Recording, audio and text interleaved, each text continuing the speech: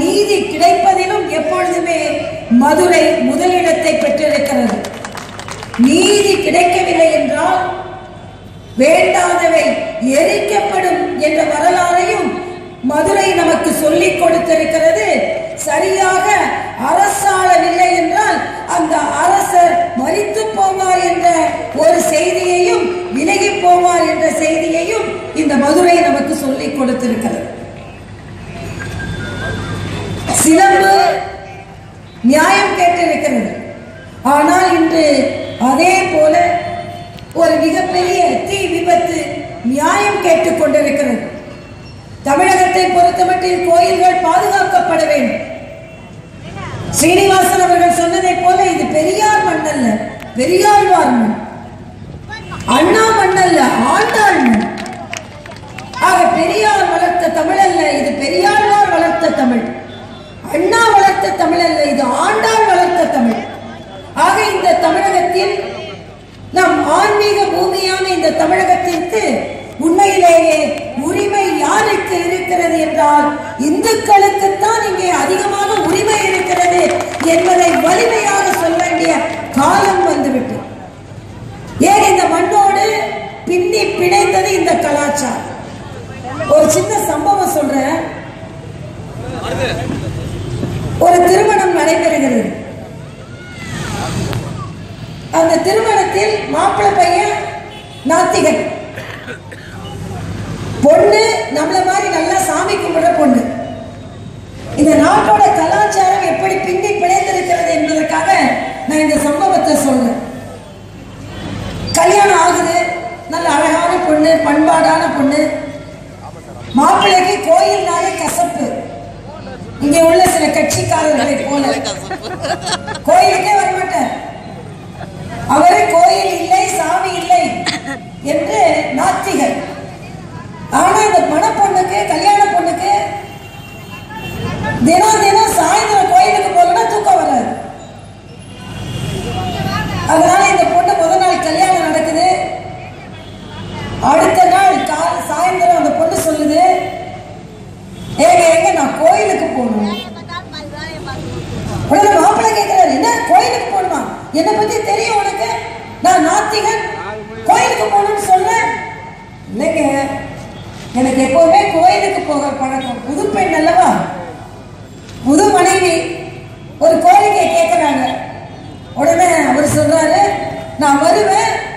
ஆனா உள்ள வர மாட்டேன் வெளியே நின்றுடுவேன் சரியா? சரிங்க. கூட்டிட்டு போறவங்க கோயில் வாசல் வருது மீனாட்சி அம்மன் கோயில் வாசல் வருது. வாசல்ல இங்க நின்னுறாரு நீ வேணா போய் உள்ள போய் சாமி கும்பிட்டுட்டு வா. இந்த அம்மா என்ன செய்றாங்க? மீனாட்சி அம்மன் கோயில்ல செருப்பு பார்த்துக்கோங்க எவ்வளவு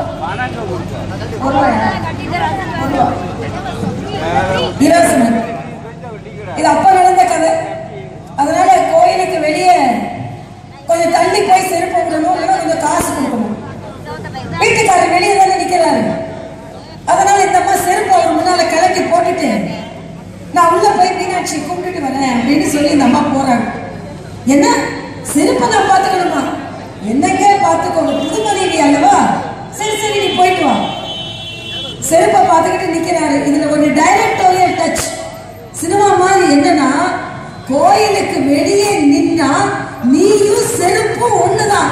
அதனால நீ நில்லு அப்படின்னு அந்த அம்மா போன இந்த நேரம் பார்த்து சில குறும்புக்கார இளைஞர்கள் அங்க வராங்க வந்து இந்த இளைஞரை பாக்குறாங்க முன்னால செருப்பு கிடக்குது உடனே செருப்பை கழட்டி முன்னால போடுறாங்க என்னது என்ன பார்த்தா செருப்பு பார்க்குற மாதிரியா இருக்கு செருப்பை கழட்டி போடுற உடனே இன்னொரு பையன் சொல்றான் பொம்பளை செருப்புனா தான் பார்த்துக்குவார் போல இருக்கு நம்ம செருப்பெல்லாம் பார்த்துக்க மாட்டேன்றார் போல இருக்கு இப்படி கிண்டல் அடிச்சுட்டு போன உடனே உள்ள போன புது மனைவி மீனாட்சி அம்மனை தரிசிச்ச சந்தோஷத்துல வெளியே சந்தோஷமா வராங்க.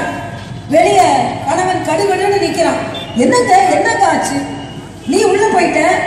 வெளியே நான் நின்னேன். காலி பசங்கெல்லாம் வந்து என்னை கிண்டல் பண்றானுங்க. சரிங்க வாங்க போலாம் போலாம். அடுத்த நாள் அஞ்சு மணி வருது. மீனாட்சி அம்மன் கோயிலுக்கு போகணும் அந்த பொண்ணுக்கு. மறுபடியும் அந்த வீட்டுக்கார்ட்ட வந்து எங்க எங்க கோயிலுக்கு போலாமா? என்ன? நேற்று தான் கூட்டு போனேன். இன்னைக்கும் அந்த பொண்ணு முகம் வாடுது. புது மனைவி அல்லவா? சரி சரி வா கூட்டு போறோம் கூட்டிட்டு போறாரு. வாசல் வருது.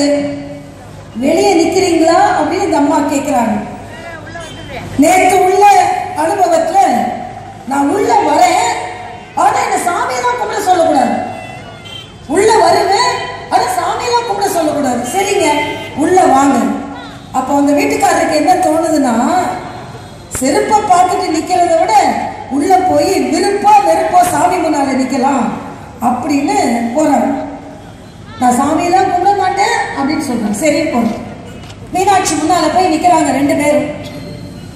சாமி பூசாரி அப்படியே தீபாராதனை காண்பிக்கிறாரு மணி அடிக்குது. இந்த பொண்ணு கையெடுத்து கும்பிடுறாங்க. கணவனை பார்க்குறாங்க.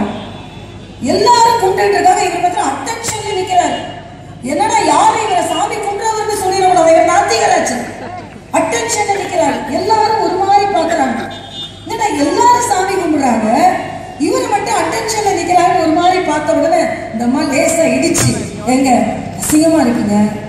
எல்லாரும் சாமி கும்பிடுறாங்க. நீங்க நடிக்கவாவது செய்யுங்க. சும்மா நீங்க சாமி கும்பிட வேணாம்.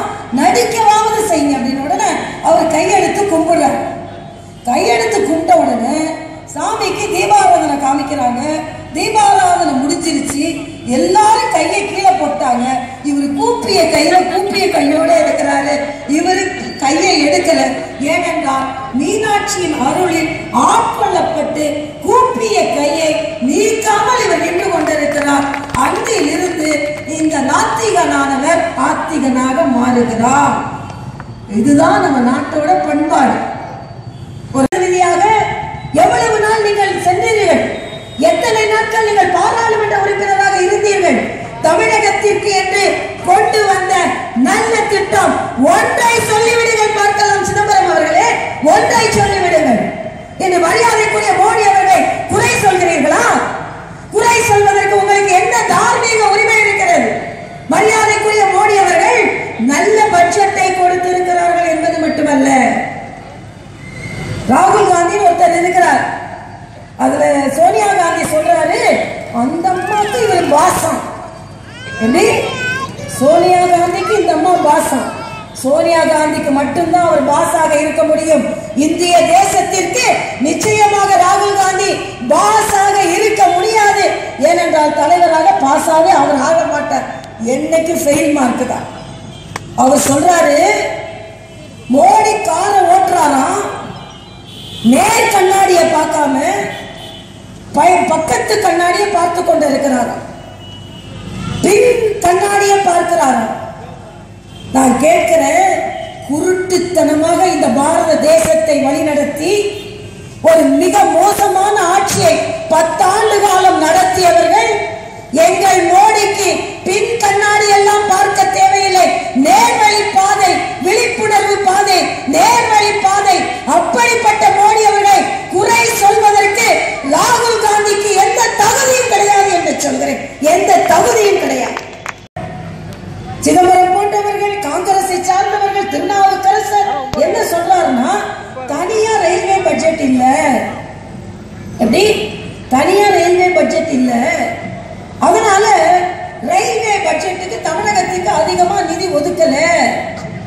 சொல்லிக்கொண்டே இருந்தான். அவர்கள் முகத்தில் அரைவதை போல பியூஷ் கோயல் ஒரு தகவலை வெளியிட்டு இருக்கிறார் என்னன்னா தமிழகத்தில் உள்ள ரயில்வே துறைக்கு இரண்டாம்